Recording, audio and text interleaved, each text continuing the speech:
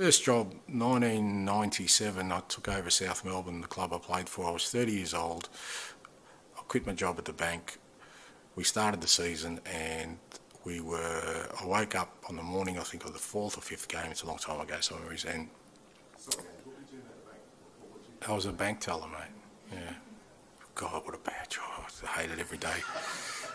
If you ever want perspective, like, that's the only thing that's driven me my whole career. I never wanted to go back to that. Um, you know, we, we, it was our fifth game, and, and I remember waking up, and I remember if we lost that game, it would have been, you know, last on, on the ladder. And the club I took over was the biggest club at the time, and um, we won that game, a scrappy game, we won one 0 uh, somebody tells a story. There was supposed to be a board meeting that night, but our president, who's a pretty smart cookie, said he was sick, and there was going to be a vote of confidence in me apparently, and they didn't have it. And then we went on the rest of the year, and we, we finished it well.